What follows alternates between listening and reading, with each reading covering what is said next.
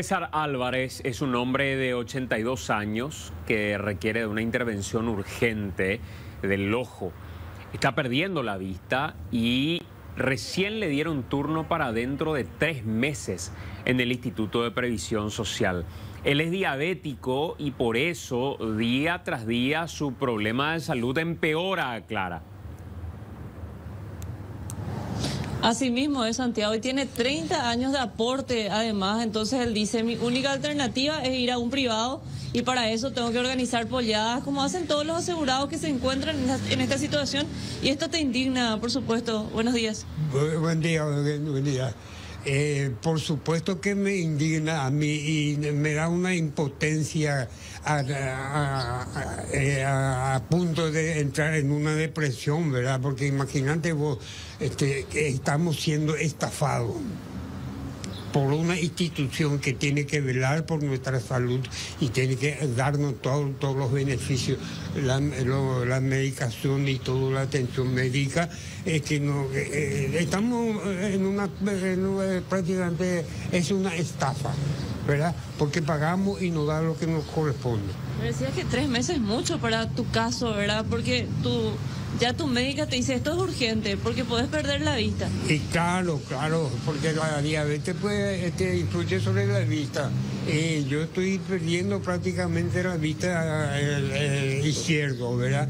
Este, veo borroso y a veces veo aquel auto, por ejemplo, veo, miro así, veo a la mitad, no, ¿verdad? Quiere decir que se va grabando, ¿verdad? Y para tres meses es mucho esperar. Tengo que este, ver eh, la forma de hacer en privado ese estudio. Ahora, me decís que son 30 años de tu vida aportando para un servicio que no puedes usar cuando realmente necesitas. Así mismo, es por eso considero que es una estafa, ¿verdad? Y una desidia, una este, falta de humanidad de los dirigentes del IPS.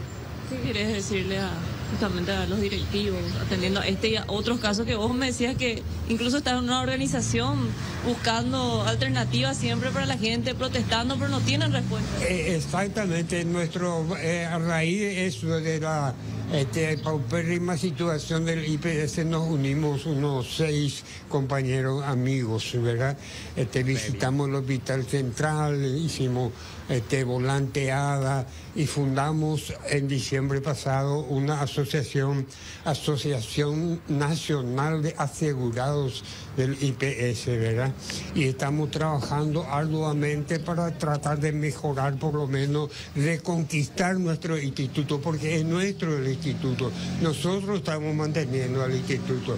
El Estado no mantiene al instituto, al contrario, vive del, del instituto, ¿verdad? Y eso es lo que nosotros estamos este, luchando eh, para... Y la apoyada vamos a hacer el 5 de agosto y va como un mensaje a las corruptas autoridades del IPS de que nosotros asegurados eh, no estamos recibiendo eh, lo que nos corresponde y tenemos que solventar, solventar nuestro gasto haciendo pollada. La situación entonces de don Álvarez y de muchos, como ya escuchaste, Santiago.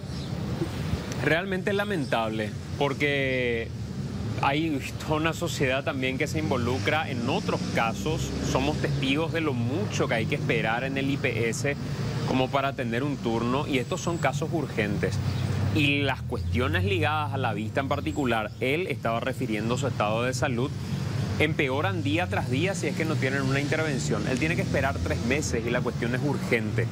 Por una cuestión de hasta humanidad, uno debería darse cuenta de que este señor requiere una intervención inmediata y otorgarle un turno preferencial. Gracias, Clara, muy amable.